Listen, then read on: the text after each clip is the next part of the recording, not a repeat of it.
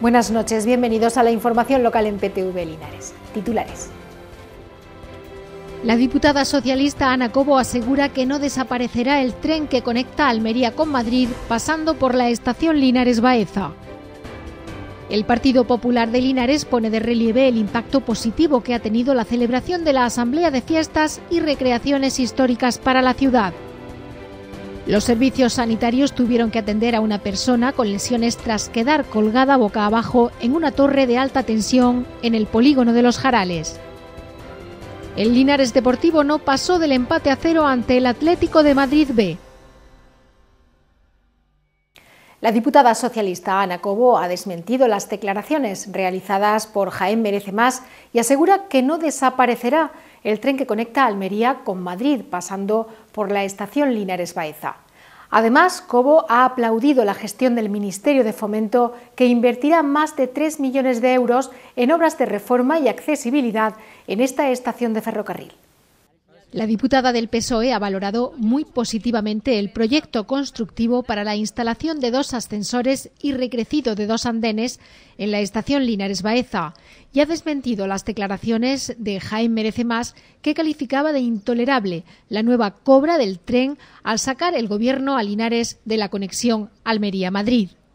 Y que consiste en el recrecido de los andenes para que sean más accesibles, también en hacer un alargamiento en torno a 200 metros cada uno, el andén 1 y el 2, así como la instalación de dos ascensores, uno en cada andén, para que cuando haya que cruzar de una vía a la otra sea totalmente accesible y más fácil. Se va a modificar el pavimento, la iluminación, la videovigilancia, es decir, una estación completa, también las zonas de, espera de los, de los viajeros y viajeras que usen esta estación. Entonces, eh, queríamos poner en valor como una inversión concreta que está haciendo el Ministerio aquí en la ciudad de Linares. Y contrarrestarlo con esa información que hemos tenido que escuchar estos días, especialmente de Jaén Merece Más, el socio del Partido Popular en Jaén, que dice que va a desaparecer ese tren que conecta Almería con la ciudad de Madrid pasando por Linares Baeza, cosa que es totalmente falsa. Cobo asegura que nada tiene que ver que se haya hecho un nuevo trayecto que pasa por Granada entre Almería y Madrid con que el tren que conecta Almería con la capital de España vaya a desaparecer. No solo eso, sino que a día de hoy tenemos cinco trenes diarios que conectan la estación Linares Baeza con la ciudad de Madrid. Y se lo está diciendo alguien que viaja todas las semanas a Madrid.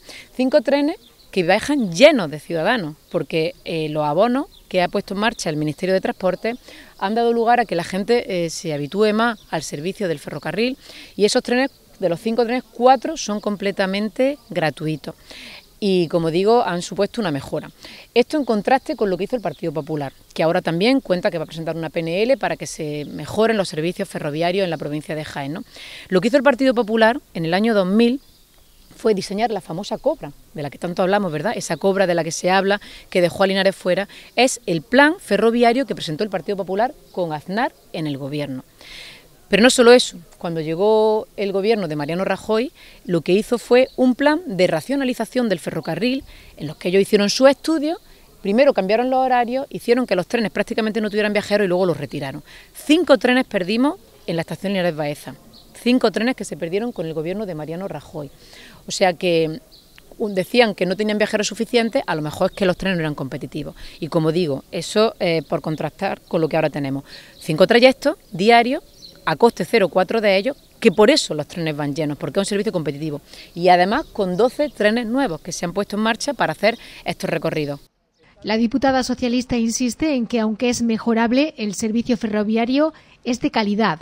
Esto, ha dicho, no implica una renuncia a conectar Jaén con Madrid a través de la alta velocidad. De hecho, y según ha adelantado Cobo, el Gobierno ya ha licitado un informe que estudia la conexión a través de la vía por Córdoba por la zona más cercana, que sería a través de Adamuz o a través de Montoro.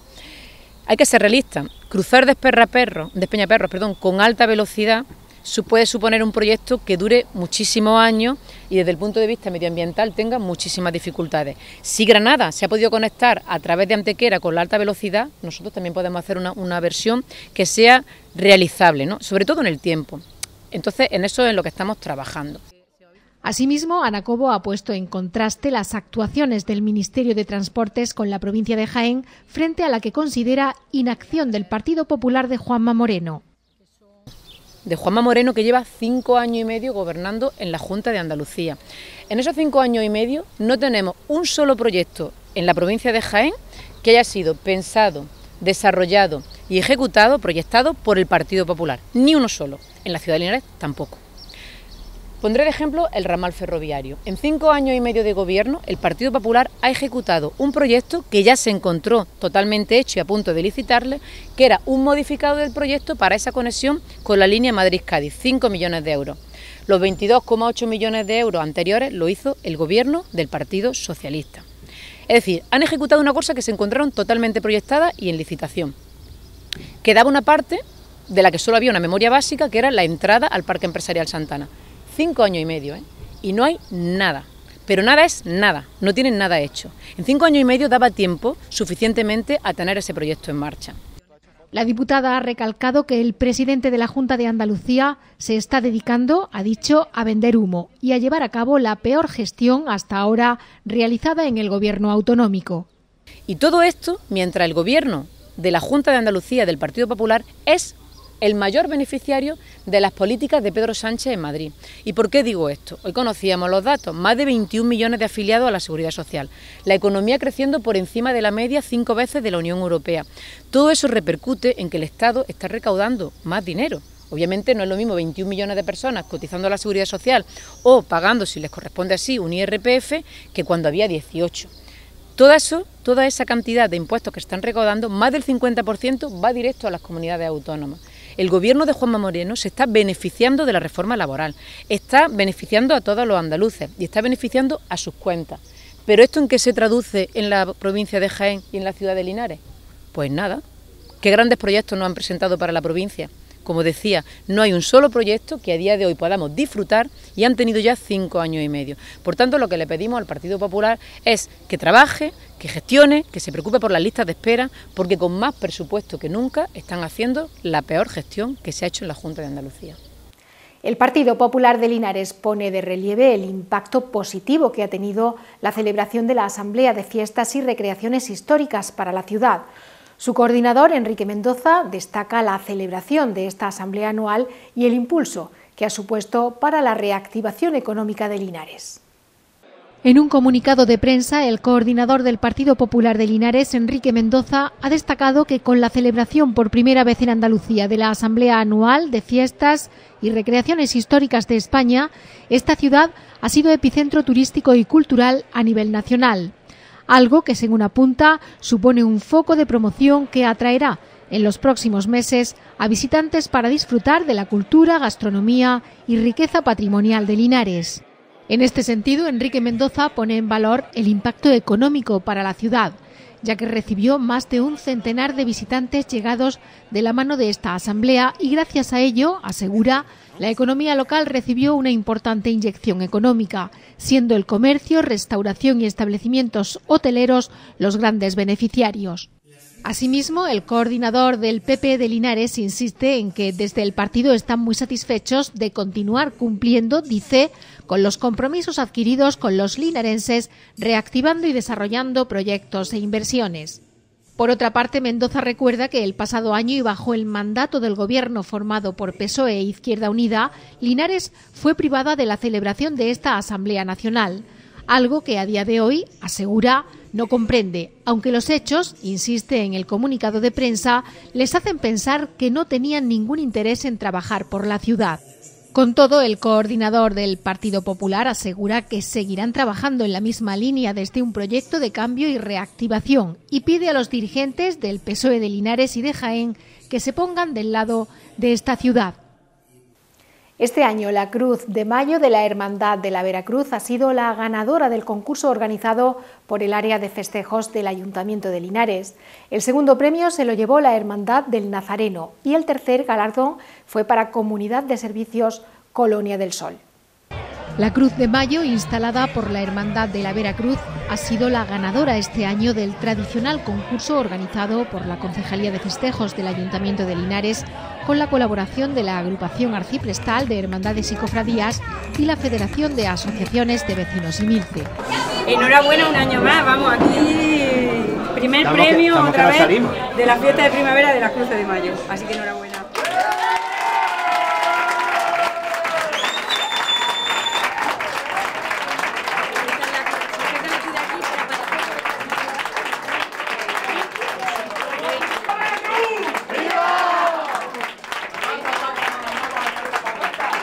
El jurado calificador otorgaba el segundo premio a la Hermandad del Nazareno y el tercero se lo llevó la Comunidad de Servicios Colonia del Sol. En cuanto a las cruces de mayo infantiles, el primer premio fue para la Comunidad de Servicios Colonia del Sol, el segundo para Mariano Montoro Gutiérrez, una cruz particular, y el tercero para la Cofradía de la Expiración. Además, el jurado determinaba la concesión de una mención especial a la barriada de la Colonia del Sol por la implicación vecinal en las cruces de mayo 2024. En este certamen han participado diferentes colectivos, asociaciones de vecinos, cofradías y particulares. Una iniciativa que ha contado con 19 cruces de mayo decoradas y provistas, algunas de ellas de barra de bar, captando así el interés de la ciudadanía de Linares y de los visitantes que han elegido esta ciudad para disfrutar de la fiesta de la primavera durante el fin de semana. Han sido tres días de celebración, de viernes a domingo, que como cada año han mezclado lo religioso y lo popular y que han permitido jornadas de ocio y diversión en muchas ciudades de España. Los servicios sanitarios tuvieron que atender a un hombre con lesiones tras quedar colgado boca abajo en una torre de alta tensión en el polígono de los Jarales. El suceso ocurrió en la calle La Mina del polígono de los Jarales. El teléfono de emergencias 112 de la Junta de Andalucía recibió una llamada de un ciudadano alrededor de las 7 y 20 del pasado viernes, que informaba sobre un hombre que se encontraba colgado de un poste de la luz a unos 7 metros de altura, agarrado con una mano para intentar no caerse. Inmediatamente los servicios de emergencias activaron a Policía Local y Nacional, los servicios sanitarios del 061 y a bomberos de Linares, quienes tuvieron que actuar para descolgar al hombre que se encontraba herido con diversas fracturas y quemaduras. Una vez que consiguieron bajarlo, fue trasladado al Hospital San Agustín de Linares con pronóstico reservado para ser intervenido. Según fuentes de la Policía Nacional, podría encontrarse sustrayendo cable de cobre cuando le dio una descarga eléctrica. Los agentes se pusieron en contacto con la empresa eléctrica para informar de lo ocurrido. En una sala llena hasta la bandera, en Bowling Linares, se estrenaba el cortometraje Un polo de limón, que cautivó al público asistente en una actividad enmarcada en el Festival Cine No Visto de Linares. Cine No Visto, el Festival de Cine Independiente de Linares, se prepara para deslumbrar una vez más con su novena edición, programada para noviembre. Sin embargo, antes del gran evento, el festival anunció hace unos meses su nueva iniciativa, Actividades Paralelas, que se ha puesto en marcha con el estreno de Polo de Limón. Esta iniciativa trimestral busca proporcionar un espacio para obras que por diversas razones no pueden formar parte del programa principal del festival. De este modo y con el enfoque puesto en promover la cultura de la provincia, Cine No Visto ha presentado el estreno oficial del cortometraje Un Polo de Limón, filmado en Santi Esteban del Puerto y con la participación especial de las bandas de música de Castellar y Navas de San Juan. Dirigida por Ana Villa y protagonizada por África de la Cruz y Magdalena Tejado, Un Polo de Limón narra la historia de Cris, una estudiante de cine en crisis creativa que encuentra inspiración en su pueblo natal. La proyección de este cortometraje ha sido gratuita, siguiendo con el espíritu del festival, y ha contado con la presencia del equipo de producción. Al término de la velada se revelaron emocionantes detalles sobre el rodaje y futuros proyectos de la productora. Cine No Visto celebra así el cine independiente y la cultura de la provincia, ofreciendo una ventana para talentos emergentes y una experiencia única para los amantes del cine.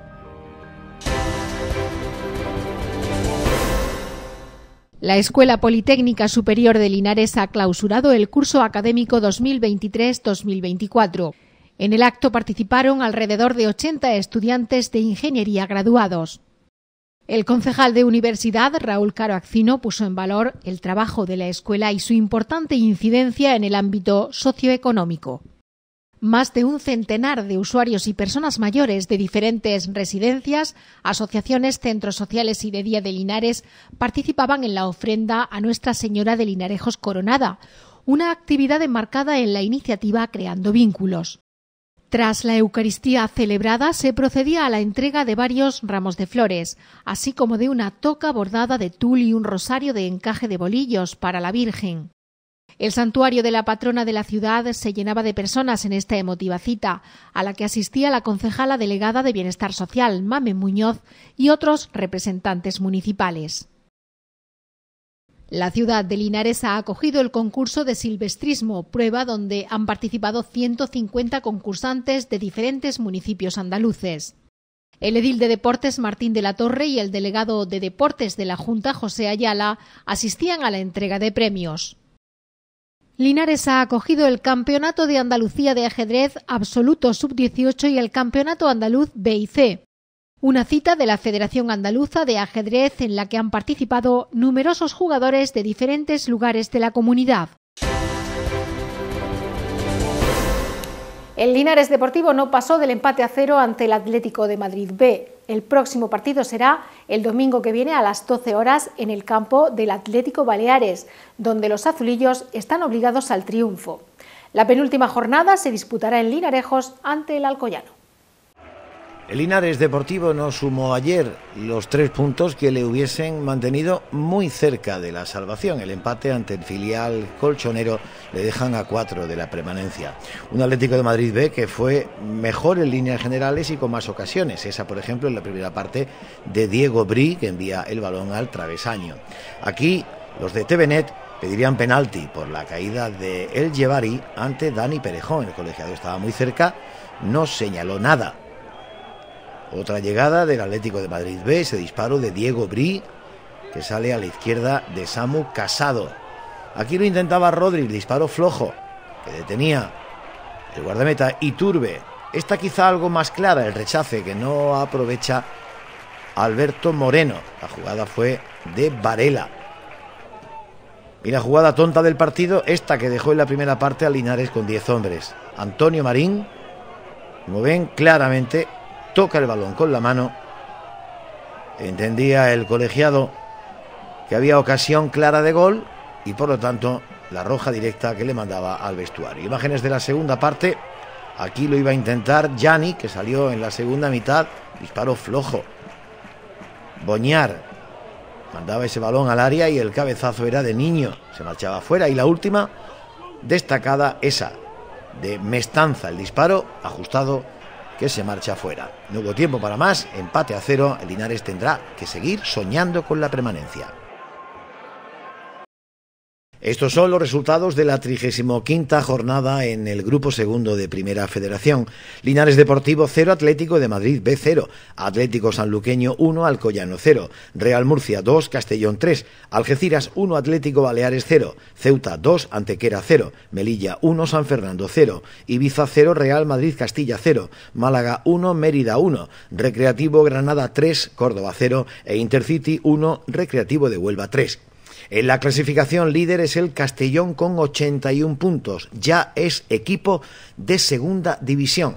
Le siguen el Córdoba, que es segundo con 70. Con 64 tercero el Ibiza. Con 63 el Málaga. Quinto, el Ceuta con 59 puntos. Estos cuatro equipos jugarían el playoff de ascenso a segunda división. Con posibilidades aún de meterse en esa zona de playoff están el Recreativo de Huelva con 55, Real Murcia con 54 y Antequera con 53. Ya sin opciones, Atlético de Madrid B 49. Con 45 Real Madrid Castilla, Algeciras, Alcoyano e Intercity. Decimocuarto Atlético Sanluqueño con 42. Decimoquinto el Mérida con 40. Descenderían directamente el Linares Deportivo con 36 puntos. Decimoséptimo San Fernando con 35. Melilla con 30. Penúltimo, el Recreativo Granada con 24 y cierra la tabla el Atlético Baleares con 23 puntos. Jornada que será decisiva la próxima, la antepenúltima, la 36. El próximo domingo a las 12 del mediodía, Atlético Baleares, Linares Deportivo.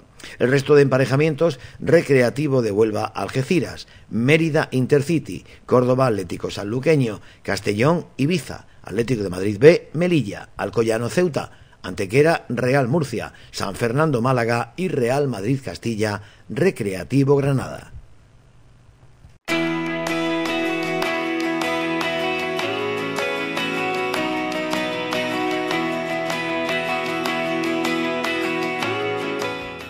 Para mañana martes, la provincia de Jaén presenta cielos poco nubosos o despejados, temperaturas mínimas en descenso y máximas en ascenso, y vientos variables flojos.